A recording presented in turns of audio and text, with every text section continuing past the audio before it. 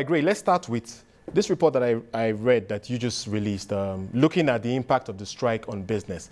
You are saying that it's neutral for credit for businesses. Obviously, it's going to, there's a huge hit that um, Nigerians are taking from this move, but to some extent, it's definitely going to impact business. But let's start, first of all, on your thoughts on how it impacts credit.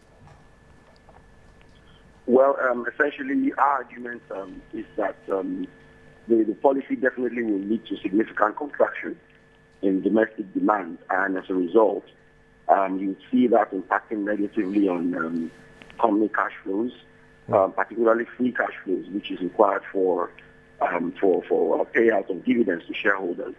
And to that extent, we see a significant decline in uh, returns to investors on the dividend end the year from the from the uh, corporate credit end. The, the significant reduction in operating cash flows as a result of um, contraction in demand. I mean, it's like a domino effect. Contraction in demand, which leads to reduced sales volumes and, and, and so on and so forth, means um, companies will definitely record lower profitability, either as a result of declining sales price, prices and volumes or increase in wages, which we're going to see as a result of the fuel price increase. Now, ultimately, what that means is that um, from the corporate end, EBITDA levels and cash flows for, for servicing of corporate debt will also be placed under significant pressure as a result of this. And as a result, our corporate um, credit outlook is quite neutral at this point in time in view of the current situation.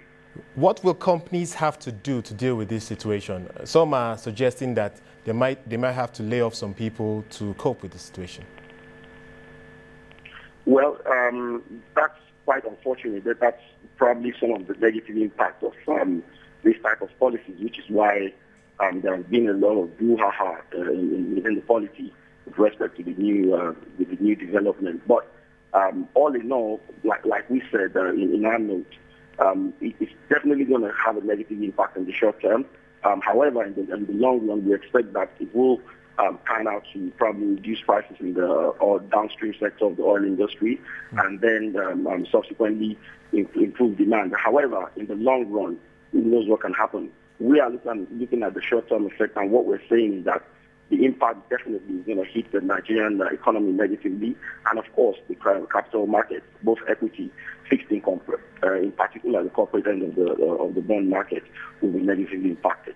Right. I know you didn't focus much on this in your notes, but what are your thoughts on the impact it might have on the banking sector, particularly with loan delinquencies? We know that yes, only a small part of um, the total loans in the market is related to retail uh, or consumer loans. But give us your thoughts on delinquency, the prospect for delinquency, more so because of the hits that this is going to have on um, the consumer market.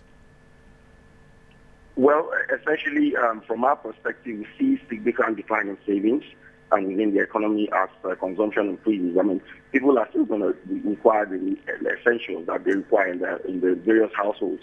So we see there a significant decline in savings, and that would definitely impact um, banks' ability to gather credit on the retail end. I mean, cheap um, cheap deposits now from the retail end. Mm. Uh, from the corporate end, um, like we mentioned in our note, the significant um, the pressure uh, uh, from from uh, reduced cash flows on companies will mean they probably look to uh, do a lot of short-term financing within the year, and uh, for banks, that will probably see we probably see an increase in the loan books, but at higher interest rates, which means uh, which probably would increase delinquency um, levels. Because the point is that if cash flows are not coming in, then it places corporates under a lot of pressure in the need to, to, to service existing loans. And, and so probably see a lot of rollovers, if I can use that term loosely, within the banking sector this year. All in all, I think all, overall the economy will suffer a significant slowdown as a result of uh, the, the, current development.